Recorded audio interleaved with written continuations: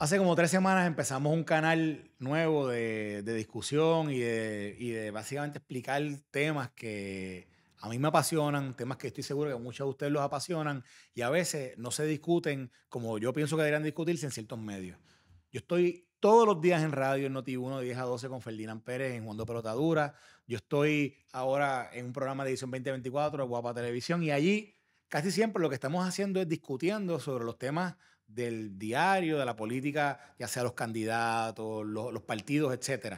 Y eso está bien nítido para, para los espacios que hay, pero hay unos temas que a veces no se discuten en esos espacios. Hay unos temas que a mí me, los tengo en el corazón, son parte de mi core, son parte de lo que yo creo, son parte de lo que yo vivo. Y yo creo que son temas que hay que discutirlos porque son temas que afectan a todo el mundo. Y ¿verdad? yo como en, mi rol de padre, en mi rol de profesional, en mi rol de ciudadano ¿verdad? de, de Puerto Rico, yo creo que hay que empezar a hablar, claro, hay que empezar a hablar directo, hay que empezar a discutir con la gente sobre temas que tienen que ver de la familia, sobre temas que tienen que ver de Dios, sobre temas que tienen que ver sobre asuntos de política pública que impactan socialmente tanto ¿verdad? a mí como a todo el mundo. Y hay que empezar también a asumir postura, asumir postura. Y yo aquí, desde este espacio, y no solamente mi voz, vas a escuchar otras voces también, vas a ver a otra gente también, nosotros vamos a empezar a asumir esas posturas, vamos a empezar a hablar de ellas, vamos a empezar a discutir lo que a veces gente no quiere que se discuta. Y vamos a, traer voces que también representan esas posturas, posturas conservadoras, posturas de familia, posturas que van buscando la libertad de los individuos y a la misma vez que van promoviendo dentro, de, dentro del mundo en el que vivimos que cada cual pueda siempre defender los valores que lo definen a uno como ser humano. Y yo creo que a eso, ese espacio está creciendo. Ustedes han visto cambios eh, posiblemente en la proyección de lo que estamos haciendo y van a seguir viendo otros cambios y de nuevo van a escuchar otras voces y la mía, cada día que nosotros podamos, vamos a traer los temas que a usted le interesan, que a usted le importe, si los vamos a tratar de, discutir con usted, vamos a tratar de tener una conversación con usted en arroz y habichuela. Otras veces también estaremos hablando sobre temas que tampoco se hablan en estos espacios, que por ejemplo, la política nacional, que han visto ya varios videos sobre el tema de Donald Trump, sobre el tema de Joe Biden, y hoy parte de lo que también vamos a estar hablando es de eso mismo, de cómo en la política de los Estados Unidos, política nacional, que a nosotros nos impacta, que ya lo hemos ido explicando en otros episodios, de cómo impacta y cómo tocan el tema y la fibra de Puerto Rico, nosotros vamos a entrar bien de lleno en esos procesos políticos y para que ustedes vean cómo está la mano siniestra a veces de la izquierda y la mano esa de los liberales, de cómo maquiavélicamente piensan detrás de lo que hoy día es Joe Biden, mañana será otro. Y sobre eso, miren lo que está pasando ahora. Make the brew beer in his fine. Oh, Earth Rider, thanks for the Great Lakes. I wonder why he's doing that.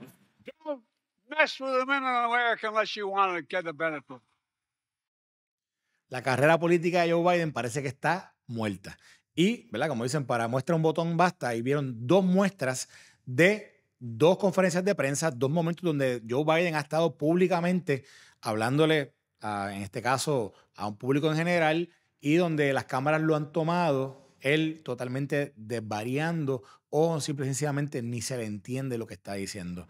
Y esto ha puesto en relieve el deterioro cognitivo que tiene Joe Biden y que presenta hoy día un gran problema para el Partido Demócrata. Porque el Partido Demócrata, aún con los problemas que él viene enfrentando, ya sea por su edad ¿verdad? y por las diferentes situaciones que, que, que hemos visto a través del tiempo, todavía ese Partido Demócrata pensaba que tenían en él el candidato para ahora el 2024 enfrentar posiblemente a Donald Trump. Pero los números no dicen eso. Y ya estamos viendo cómo todos esos expertos, toda esa gente que favorece al Partido Demócrata, ya se están yendo del lado de Joe Biden y han comenzado a alejarse. Y yo se lo voy a enseñar poquito a poquito cómo la semana pasada fue posiblemente la semana del fin de Joe Biden. Y esto todo comienza con lo que está ocurriendo a nivel nacional con el tema de inmigración.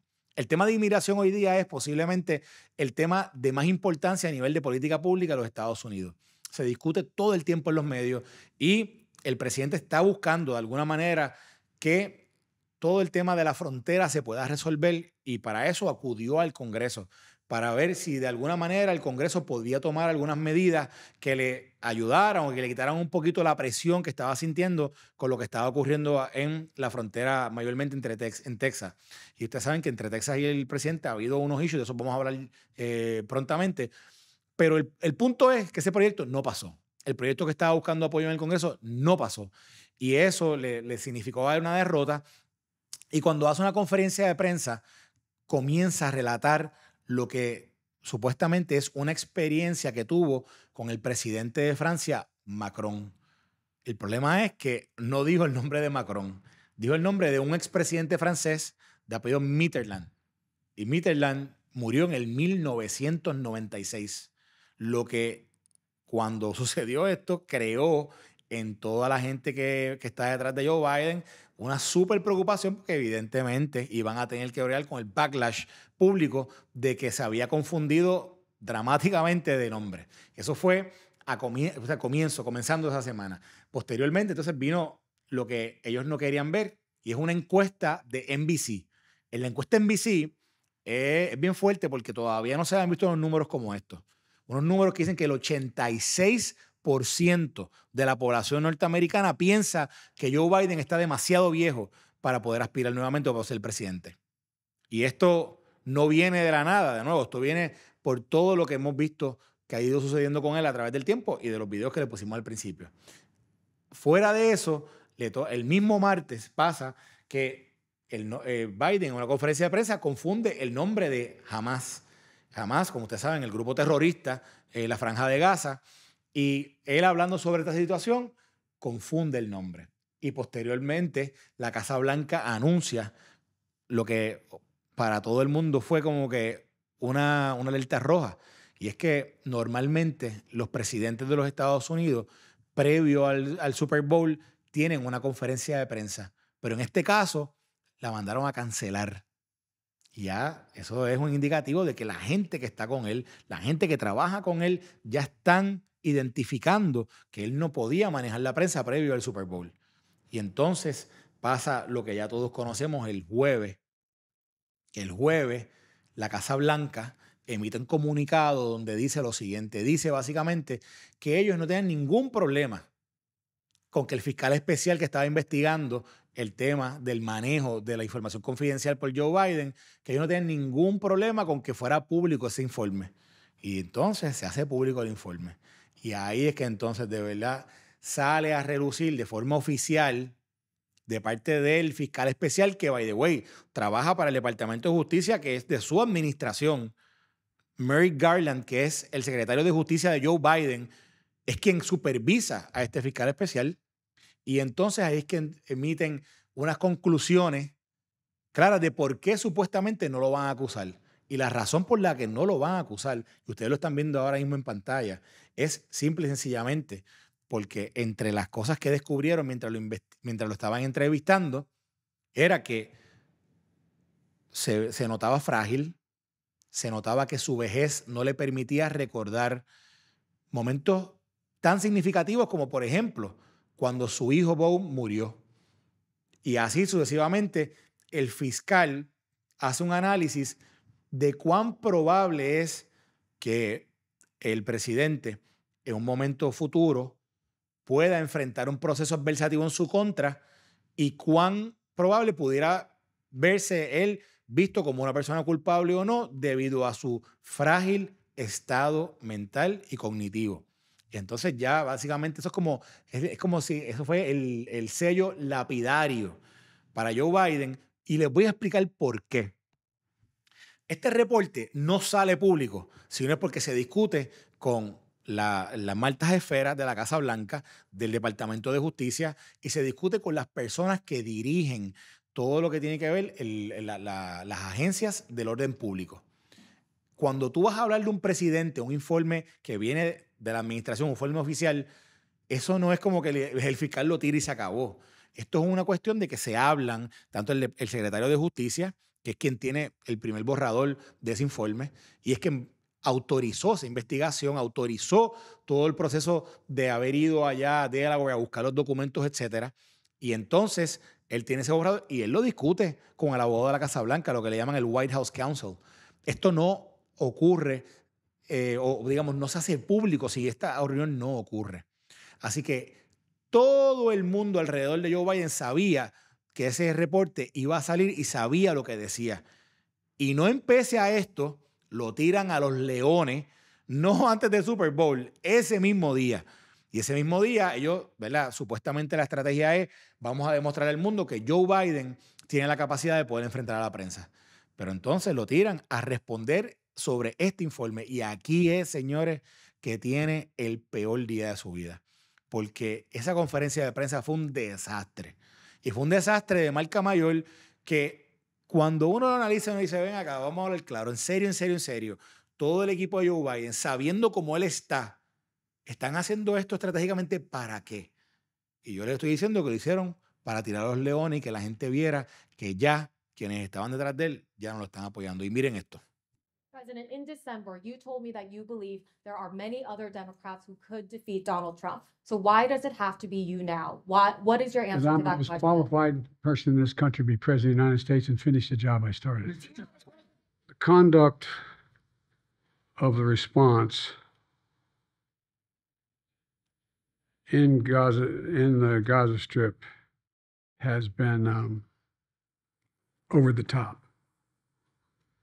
I think that, uh, as you know, initially, President of Mexico, Sisi, did not want to open up the gate to allow humanitarian. Si se fijan, básicamente confunde dentro de un relato que está haciendo en esa conferencia de prensa el nombre del presidente de Egipto por el, por el nombre del presidente de México. Hay una gran dicotomía entre lo que pudo haber sido una estrategia de parte de Casablanca de decirle, no, no, no, no, eso que dice el reporte del fiscal especial es mentira, mírenlo, este hombre está nítido y el reporte de Casablanca dice que está frágil, que cognitivamente tiene problemas, vamos a demostrárselo al mundo, suéltalo. Y eso fue lo que hicieron, lo soltaron. Y después de eso han tratado de hacer como una campaña bien, bien superficial de tratar de demostrar que el hombre tiene control y lo hicieron utilizando el Super Bowl, que todo Estados Unidos ve el Super Bowl, ¿verdad? si no, el que no lo ve, es bien poca gente la gente que no lo ve. Y utilizaron unos anuncios bien, bien flojos para tratar de presentar un Joe Biden lleno de vida, lleno de energía, que contrasta, pero brutalmente con lo que estábamos viendo tres o cuatro días antes. Y incluso se ve hasta fuera de tono con lo que hemos visto en los videos que yo les he presentado consecutivamente. Y miren, por ejemplo, cómo reaccionan noticieros que anteriormente posiblemente veían en Joe Biden el candidato. Mire cuál es la reacción hoy sobre todo lo que yo estoy contando. Ice cream cartons have actually shrunk in size, not in price. I've had enough of what they call shrinkflation. It's a ripoff. Some companies are trying to pull a fast one by shrinking the products little by little and hoping you won't notice. Give me a break. Ahí vieron ese anuncio, ese anuncio de, de, del Super Bowl y de las papitas, etcétera. Pero también ha habido una serie de, de reacciones de parte de expertos de los medios, periodistas y, y, personas que son que están, que están muy relacionadas a la política, donde ya lo están descartando, descartando totalmente a Joe Biden como candidato del Partido Demócrata, como por ejemplo lo pueden ver aquí intencionado con mala memoria. Así le describe el fiscal. Añade que no fue capaz de recordar cuándo murió su hijo o cuándo fue vicepresidente. No presentará acusación, asegura, porque un jurado le absolvería por sus lagunas mentales. Y es que, miren, lo que se ve no se pregunta. En este caso, evidentemente, ya el, el tema de Joe Biden y su situación personal de salud ya es demasiado evidente, ya es demasiado obvia. Y uno tiene que preguntarse quién está manejando a Joe Biden, quién está manejando los asuntos de política pública de Joe Biden. Por eso anteriormente yo les estaba diciendo, miren, Joe Biden es peligroso.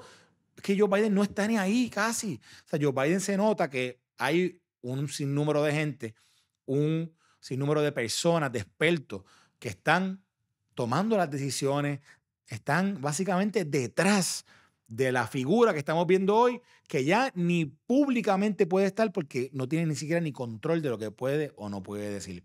Y eso es lo que hoy cuando uno ve todo lo que estamos analizando, tiene que uno da- darse cuenta que ahora ese partido se va a mover a buscar una alternativa. Y la alternativa no es mucho mejor que Joe Biden. La alternativa suena a Obama, que sabes que siempre han dicho que Barack Obama está detrás de la presidencia de Joe Biden, que mucha de la gente que trabaja hoy día con Joe Biden eran de la, de la Casa Blanca de Joe Biden, saben que incluso la campaña de Joe Biden de hoy día tiene personas personas que trabajaron con Barack Obama y que trabajaron en la campaña de Barack Obama, y ahora no es que van a traer a Barack Obama, es que ahora se menciona que una posible sustituta a Joe Biden es Michelle Obama, lo que significaría en términos de política pública un presidente o una candidata a presidente muchísimo más de izquierda que Joe Biden. Y para eso, como digo, muestra un botón basta lo que fue la Casa Blanca Barack Obama y sobre eso nosotros vamos a seguir hablando en el próximo episodio.